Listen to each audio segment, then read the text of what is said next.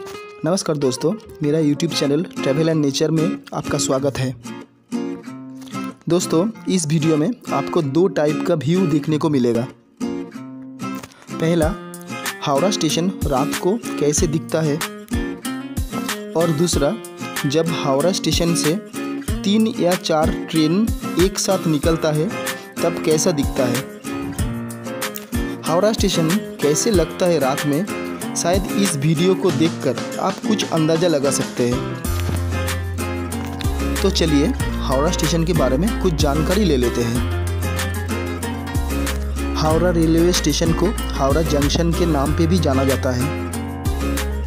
Howrah railway station Paschim Bengal, Bharat में स्थित है।